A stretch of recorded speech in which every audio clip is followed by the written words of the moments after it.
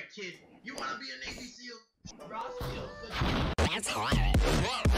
That was good.